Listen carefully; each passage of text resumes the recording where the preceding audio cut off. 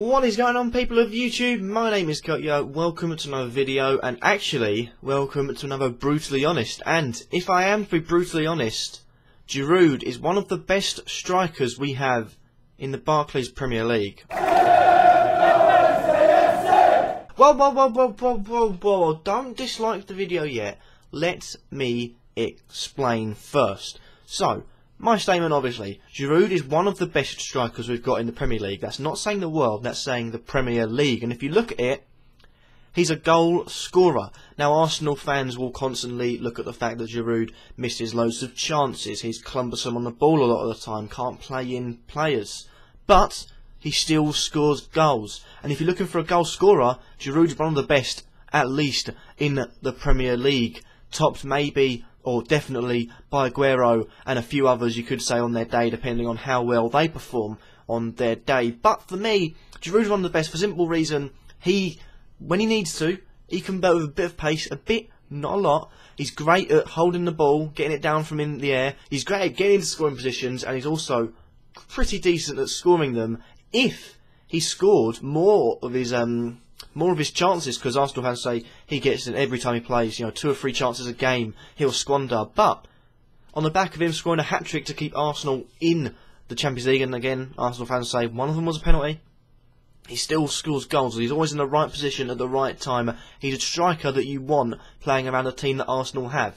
Now, if you look at this season, you know, the fact that Giroud has been in and out of the team, you know, he's been generally first team, but he's had, I don't think he's played, you know, 100% or 100% of the games uh, for much of this season. However, he's their top goal scorer. If you look at the league, he's grabbed himself eight goals. The second best is Alexis Sanchez on six, and if you, you take into the fact he scored all of them six goals in three different games, um, basically got Sanchez who scored in three different games, and then you've got down to players like Özil and other players like that who have two goals to their names. Now, another trait of Giroud's that I like is that he does not do everything in one or two games. There have been strikers in the past that have been known to maybe grab 20 goals a season, but grab a two, you know, a lot of two games, a few hat tricks in the season, and not really score one goals. Giroud is a long-lasting impact player.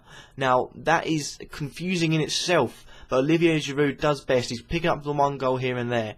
Now, with with Arsenal being Arsenal fans being Arsenal fans, if it's not SSN HQ Sanchez, then it doesn't matter. But of course they'll criticise the fact he only scores one goal in the game. But if he scored two goals, people would criticise him for that. But for me, I'd much prefer to have a striker that scored just one goal every game, just for the fact he's having a constant impact in every single game, as well as the fact he'll play in other players. He might not have the, you know, the assists that Ozil gets, but he's a target man. You kick the ball up to him, you're going to find him. He's going to nod it down. He's going to control the ball well. He's going to outmuscle a lot of defenders, and that is something that is a dying art in modern football.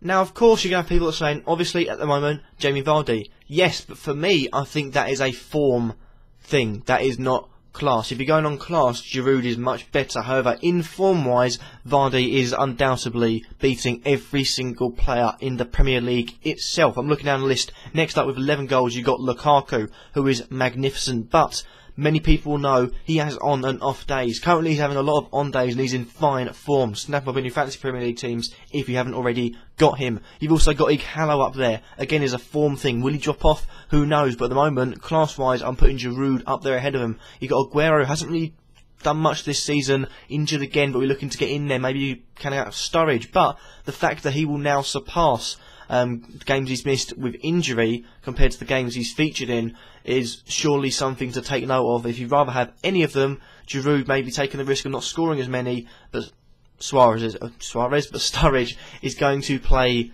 Hmm, if you're going to have 30 games a season, he's going to get in 15 of them, maybe even less than that. I'm looking at the list. Kane, again, is he a one and a half season wonder? But he's done well so far, and I think Kane is a quality striker, not on the same level as Olivier Giroud. You've got Aguero, you've got Pellè, you've got Deeney, you've got Callum Wilson, who's still up there. You've got Kone, you've got Gomez, Benteke.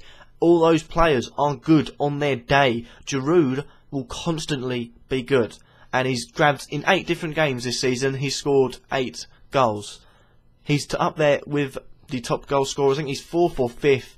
And for me, I'm looking at it at the fact that I'm a big fan of like the old school like Alan Shearer type striker the ones that will scare defenders, not only for their trickery, for their ball, like, ball play and their finishing, their quick movement, but the fact they can bully the defenders as well. If you've got that, that will scare the defenders more because they know we go up in the air, we might lose this guy, we'll probably lose to this guy. And that for me is why Giroud is one of the best finishers and one of the best strikers we've got in the Premier League. If you disagree with me, then let me know what you think in the comments down below. Who do you think the best striker is and how wrong do you think I am? Again, this is about being brutally honest. It's not about saying, you know, ifs and buts. This is me giving my brutal opinion and saying, here it is. I'm chucking it out there. Let's see what you guys think. But thank you guys for watching nonetheless. If you liked this video, then leave a like.